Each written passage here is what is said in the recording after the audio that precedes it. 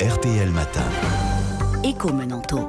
6h55, bonjour Christian. Bonjour à tous. Alors si les analyses de l'INSEE euh, se confirment, le futur locataire de l'Elysée présidera une France qui retrouve le moral. Eh oui, c'est indéniable. Le moral des ménages euh, français, très régulièrement suivi par l'INSEE dans toutes ses enquêtes de conjoncture, est au plus haut depuis 10 ans. Nous n'avons jamais été aussi confiants dans notre avenir depuis 2007. Alors, comme pour les dirigeants d'entreprise dont les perspectives d'activité s'éclaircissent, hein, l'indice de la production industrielle et celui des services s'affichent en hausse régulière depuis trois mois, eh bien les Français retrouvent à leur tour plus de bleu que de nuages dans le ciel hexagonal. Est-ce que c'est la perspective de changement de majorité qui les débride ou une meilleure appréciation des résultats du travail de l'actuel gouvernement? Eh bien la question intéressera certainement les candidats. Alors quels seraient les éléments qui expliquerait cette embellie-là Eh bien, deux éléments prédominent selon l'INSEE. D'abord, les Français considèrent que leur situation financière personnelle va s'améliorer dans les mois qui viennent. Sur ce terrain, l'Institut affiche un niveau d'attente qui n'avait plus été atteint depuis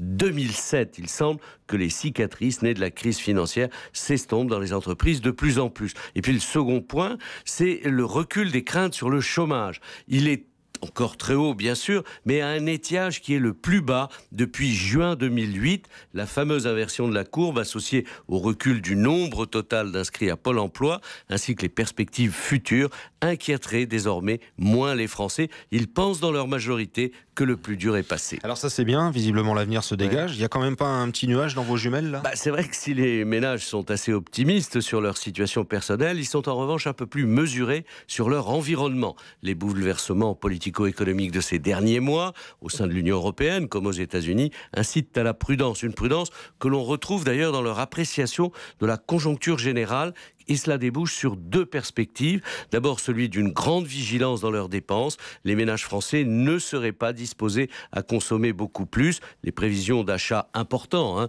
automobiles, gros équipements de la maison ou électroménagers, restent stables. Et c'est le second point, cela conforte les prévisionnistes qui anticipent une reprise modérée au premier semestre avec un retour de l'inflation, ce mécanisme qui grignote le pouvoir d'achat et l'épargne. Christian Mélentot, le flash du matin. Les salaires nets des salariés du privé et du public confondus ont augmenté de 1% en 2014. Ça explique peut-être aussi ce qu'on vient de dire. Et puis 15 sur 20. Hein. oui, à Nicolas Dufour, que BPI France, dont le directeur général du fonds et qui est le directeur général du fonds souverain, a, a été l'homme le plus actif dans les nouvelles technologies entre 2010 et 2016, près de 200 investissements. Et Menanto avec Christian, vous réécoutez RTL.fr.